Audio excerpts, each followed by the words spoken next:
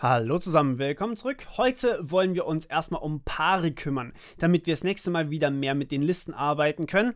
Ähm, das heißt, Paare ist so eine Art kleiner Einschub. Paare sind auch eine Art, ähm, die man in der Kotlin äh, Collection findet. Um, ähm, und die später definitiv relevant werden.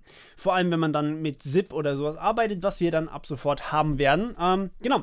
Und ja, ein Paar sieht folgendermaßen aus. Wir haben hier zum Beispiel einfach mal ein Value um, ähm, Pair vom Typ Pair. Und genau das ist im Endeffekt der Typ, den wir hier brauchen. Ist gleich, und jetzt können wir hier ein Pair erstellen mit äh, 1,3, äh, 1,2 zum Beispiel, ja. Und das Ding ist, das ist jetzt auch wieder wie Array oder so ein Speichertyp. Das heißt, man kann hier angeben, welche zwei Typen sich hier drin befinden. Das heißt, ich bin nicht darauf festgelegt, dass hier jetzt 1 und 2 steht. Ich könnte auch hier natürlich 42 und 2 reinschreiben. Ich könnte aber genauso gut hergehen und 42 und Glaskanone schreiben. Ja. Ähm, und das ist absolut legitim. Das heißt, ich muss aber hier trotzdem meine Typen angeben. Denn Kotlin braucht für allen Shit Typen. Und das heißt, ich muss hier sagen, okay, das Ganze sind ein Integer und ein String, okay? Und jetzt habe ich quasi die Möglichkeit, hier ein Paar zu verwenden.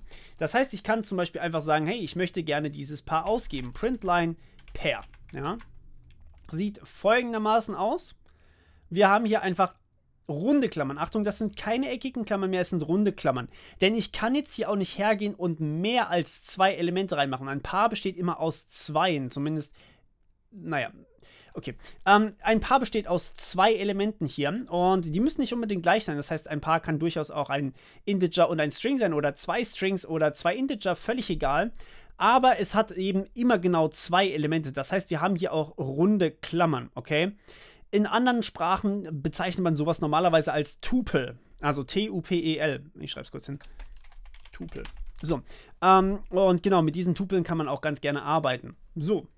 Warum würde mir das irgendwas bringen? Nun, das werden wir in den nächsten paar Videos sehen. Wie kann ich jetzt hier irgendwas damit machen? Das ist eine andere Frage. Und die Antwort darauf ist relativ simpel, möchte ich mal so behaupten. Wir können hier einfach sagen, ich hätte ganz gerne mein erstes Element wieder. Dann bekomme ich, ja, ich bekomme, habe ich gesagt. Dann bekomme ich natürlich meine 42 wieder, wer hätte es gedacht. Oder ich kann sagen, ich hätte gerne mein zweites Element wieder, also meine Glaskanone. Dann bekomme ich selbstverständlich Glaskanone ausgegeben. Ja, logisch, oder? Ähm, ich kann das Ding auch in, mit anderen Funktionen verwenden. Das heißt, ich kann jetzt zum Beispiel sagen, ich möchte was kopieren. Ich kann auch Component 1 und 2 hier benutzen. Ähm, wobei ich immer First oder Second empfehlen würde. Component 1 und 2 würde ich nicht empfehlen. Ähm, Genau, ich kann hier auch tatsächlich das Ganze mir als Liste konvertieren lassen. Dann bekomme ich das eben als Liste wieder raus. Das heißt, es ist jetzt keine, keine Limitierung mehr für, ähm, für zwei Elemente, sondern wir haben jetzt hier eine Liste, aber eine Liste mit variablen Typen. Und äh, das würde ich euch meistens nicht empfehlen, es sei denn, ihr müsst das wirklich tun. Aber ja, ähm, im Endeffekt ist das erstmal eine kleine Intro zu Paaren. Wir werden sehen, für was man die später noch braucht, denn ja, wir, wir behalten erstmal das hier im Hinterkopf. Und damit bis zum nächsten Mal. Ciao.